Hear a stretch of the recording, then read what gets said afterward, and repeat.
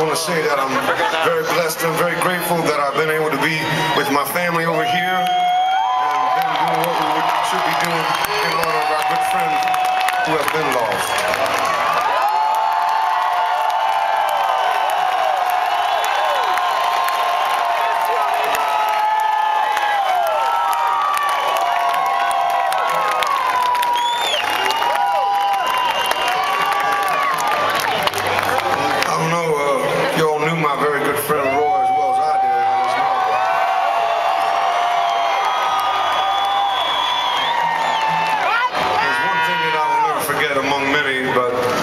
Is that he had the most outrageous and infectious laugh you have ever heard.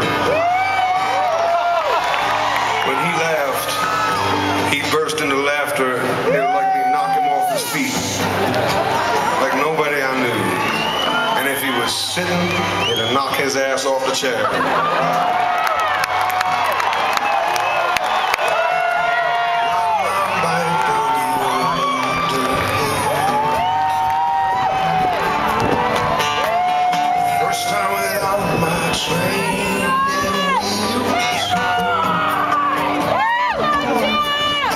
first time I came.